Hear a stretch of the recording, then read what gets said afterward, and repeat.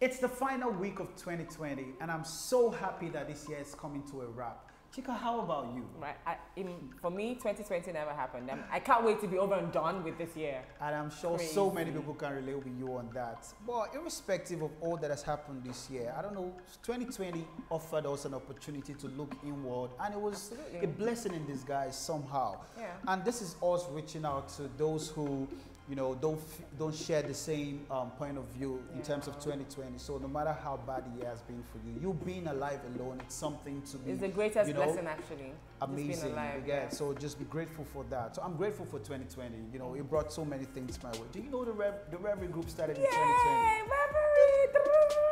Congratulations. So it was a post-COVID, um, you know, um, development. We started in 2020, and I think we've done we've done quite well for 2020 for ourselves. And we're super proud of what Gainesville. Realty also launched towards the end of the Amazing. year. I was gonna mean, wait for you Chicken's to say Market, that. Delicious, Smoothies and Juices, all of those business ideas were born Great. in the COVID season. And so, Great. of course, there's a silver lining True. to that cloud. that That's why- COVID, yes. True. That's why I said it's offered us an opportunity to look inward and you know just re-strategize and you know just do something Birth different. new ideas. You get. So on today's episode of the Real Talk, we will be looking at 2020 in retrospect. But before I continue, I'd like for you to go ahead and subscribe and um, hit the bell button to get notifications when we put out content like this every week.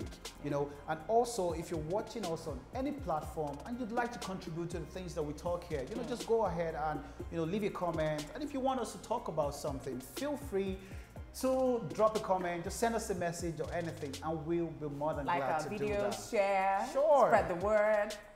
I'm sure you like it. That's why you've gotten to this point. So of course, share the same goodies with someone. Share our videos. hmm?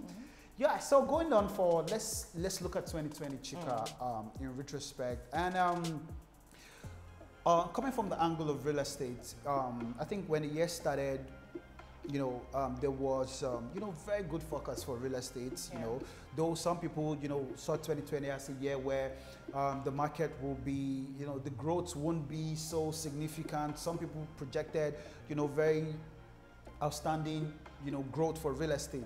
And then something Boom. happened. COVID kicked in. We and it cannot was- talk about 2020 without without- talking about the I think 2020 should just be a COVID year. That's what we should call it. It was the highlight of it the was year. the highlight of the year. Yes. So COVID came and then it knocked off everything. You know, we were locked in the house for quite some for, for some months, and you know things happened. Businesses fell off.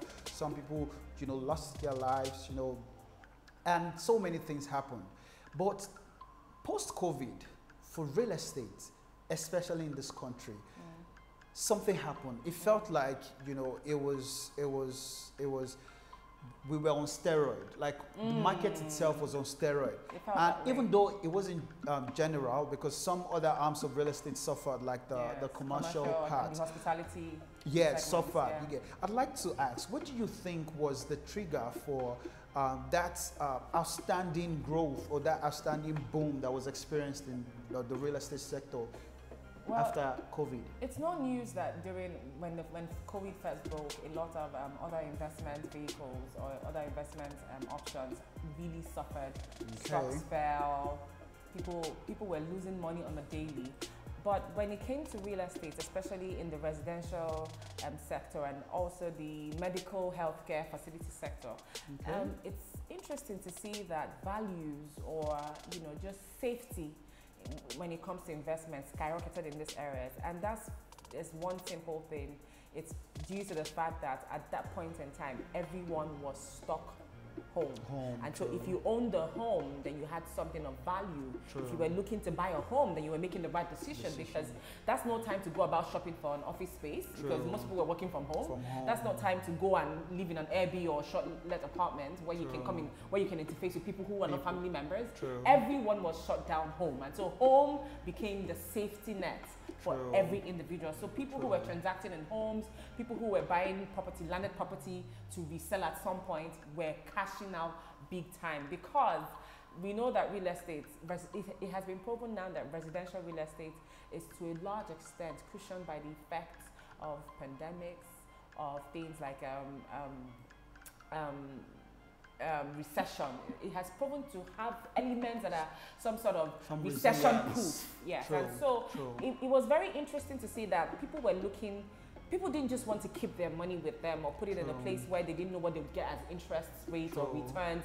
People wanted to put it in something that you know would help them stave away such funds so that they can increase value for Value their money time. and residential real estate and you know landed properties made possible for that uh, made, made that possible and so it was very interesting to see that Amazing. even at that point in time even with covid trans- real estate transactions still went on and that's all thanks to tech Tech. because you know it, nobody saw this coming nobody True, saw this coming true. but some companies had already begun to adopt Position tech themselves. models Yeah. that ensure that their business processes could still operate seamlessly, even if you know haphazardly, but seamlessly on tech platforms. And so companies like that already hit the ground running when True. COVID broke. So it was very interesting to see the role that tech played in enabling people to actually carry on investment in the residential um, sector of real I estate. agree, I agree, I agree. Absolutely right. Like so many trends emerged from yeah, emerged in 2020. So you saw the likes of um, um, virtual um, working. Virtual yeah, people don't even. Okay, that's for even property. You know, virtual tours and all of that. So like, and on a general outlook, Okay. like people, more people now work from home compared Absolutely. to um, um, while we had the um, that was pre-COVID um, era. Mm. So right now, even I was talking to a friend recently. He works in an oil firm. Like till date, they still haven't, you know, called everybody to come back to the office huge because percentage of their staff work yeah, from home. many still work from home because I think companies are trying are starting to realize that. Um, um, the operational costs that they incur, you know, getting everybody to come work um, from the office, That's it's even high compared to you know when they work from home. And somehow, I've, I've, I've heard companies who have said their productivity, you know, Doubled with their staff, what amazing. So this is these are trends that I feel like would even continue. 2021, Yeah, going into work from home, 2021 remote working. amazing remote working it's some it's a patch it's a trend that I, that I'm very certain would you know continue going into 2021 Another, another trend that I am very eager to see is the breakdown of traditional norms when it comes to carrying out real estate investment processes. I cannot because before now in Nigeria, if you're looking to invest in real estate, you would never seal the deal completely over, you know, over virtual means. this Going on a home be tour virtually, was not something that we were accustomed to on this side of, of, of our woods.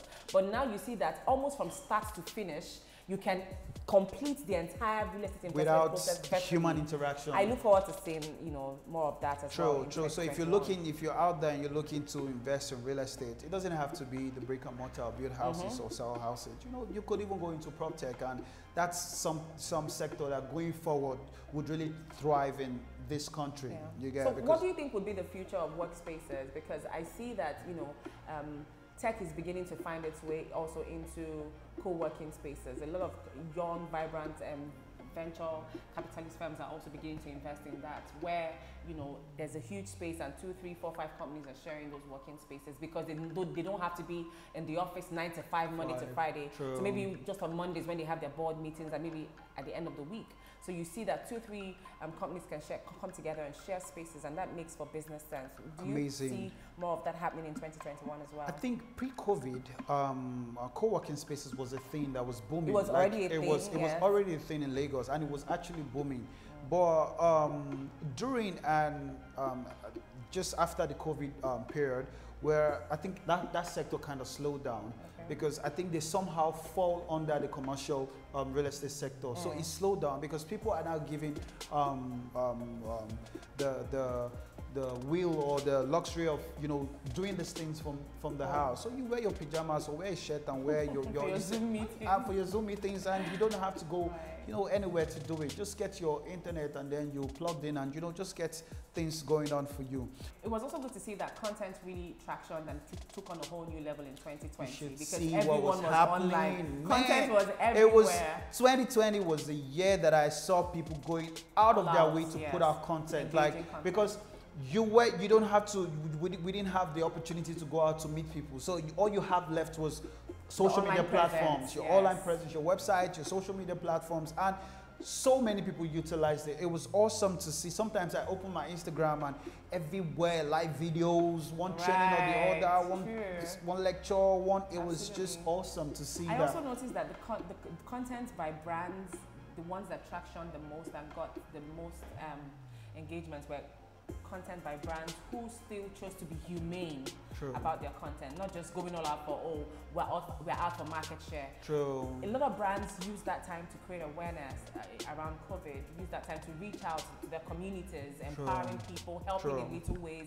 Those brands created content out of things like that, and those ones stuck for me personally. I mean, True. even the numbers I agree. displayed that those um, brands really did well I in agree. 2020. I agree. It was. It was. It's. Just, I think it's just right not to act oblivious of what was going on and still try to push houses and things like that on people. You know. So it was. It was awesome to see so many people became empathetic Right. and you know they were putting out content that was coming from a very humane point of view, and it was awesome to see. I have a question. Do you feel like more people bought homes or owned properties in 2020 compared to 2019? I mean, that's a I'd no-brainer like question. to think.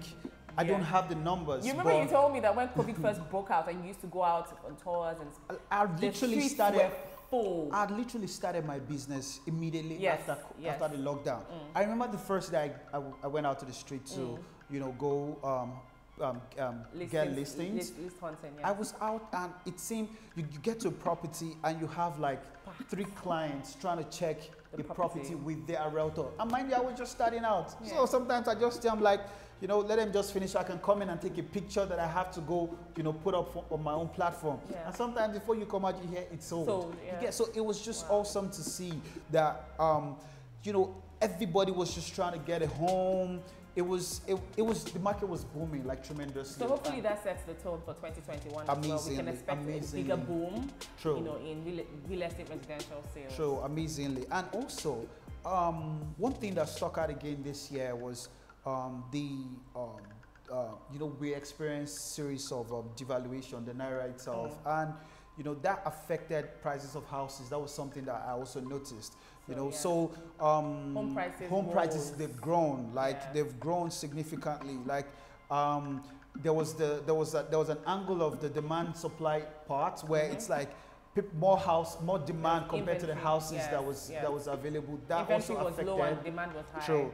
Yeah, that affected price. And then there was also um, um, the, the, the, the increase in the cost of building materials. You know, our materials, houses, we have yes. 70, 80% of, uh, we outsource those things almost Imported. imported. So Mhm. you get these things where, where the prices were increasing and it was also affecting the prices of houses, you get. So what would you envisage literally for 2021? I mean, going by the things that have happened in the year, what are your thoughts? I mean, just off the cuff. Okay, so for me, for 2021. All right, for 2021, some of the trends that were created by COVID, um, I'd like to think they are here to stay.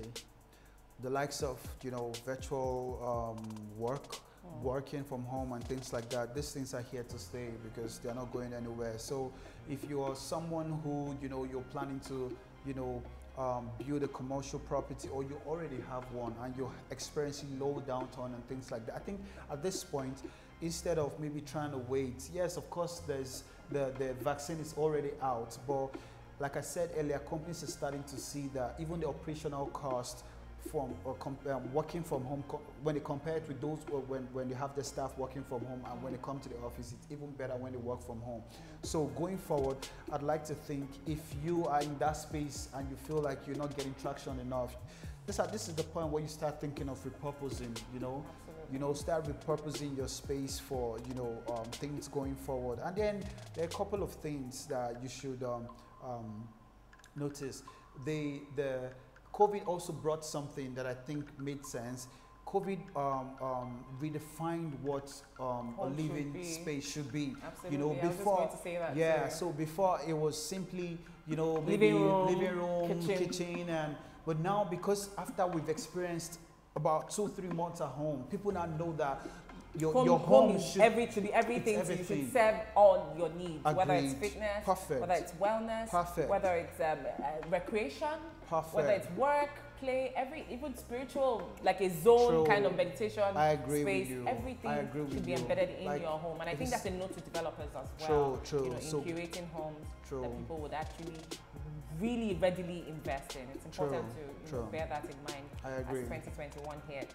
Awesome. So going forward, it's it for if you're a developer out or you're looking to build properties, um, the, the the buyers, the clients, um, um, um, um, demands are actually changing. People want spaces where they can actually do recreational activities. They can, you know, just unwind, do things, and not feel, Feel like boxed they are boxed in. You get.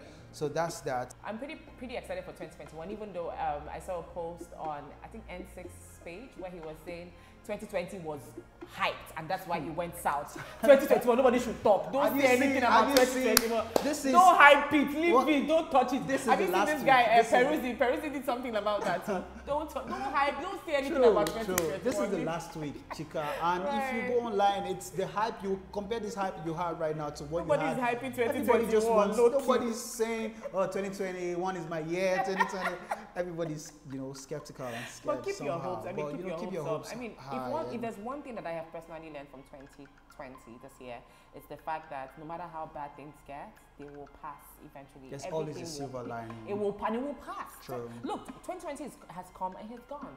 True. And you know, we can only hope for better and plan and prepare. So what 2020 has done is to teach us also that things can come out of the works. And so we always have to envisage, you know, True. better options, better alternatives. How can you float your business virtually? True. How can you continue to ensure that your business is recession proof, pandemic proof? We need to continue to have these conversations and also structure um, strategies and models around our businesses that will ensure that our business can float even in times worse than this. Because I mean, there's a second wave of COVID going around now. Who knows? I mean, I there's, the a, there's a there's a vaccine you it's say, out already. But still, it's always, you know, hope for the best and prepare for the, for worst, kind of scenario.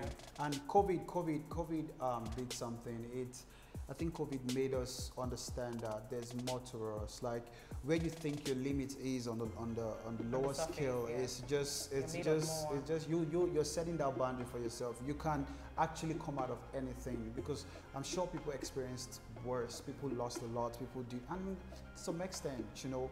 We're still people. Some people were still able to survive, or people are still surviving. You know, People cashed out. Me, people did a whole lot. People Like cashed out in COVID, COVID, 2020. COVID has, you know, the good side was, should I say there was a good side, but people found a way to utilize the whole turbulence and Yeah, still and made make something great for it. themselves. And that's, and, and that's the resilience of the human spirit. True. So that's what I'm saying. COVID, uh, that's one thing. It made you understand there's more to you. Right, You know, you can still go. Just keep doing it. You can still do something. So, guys, this is the last week of 2020.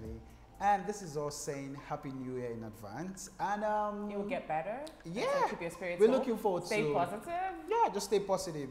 Just get your hopes high. forward. You know, just you know, and cheers to the new year. See you in 2020. On the other side.